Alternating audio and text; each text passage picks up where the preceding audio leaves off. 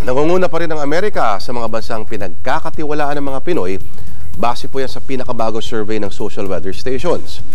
Sa survey na ginawa noong Marso ngayong taon, nakakuha ang Amerika ng positive 60 net trust rating o very good.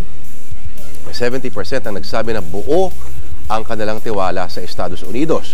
Habang 10% naman ang hindi gaanong tiwala. Sumunod naman ng Japan at Australia na nakakuha ng good net trust ratings. Kulelat naman ang China sa negative 6 o neutral trust rating.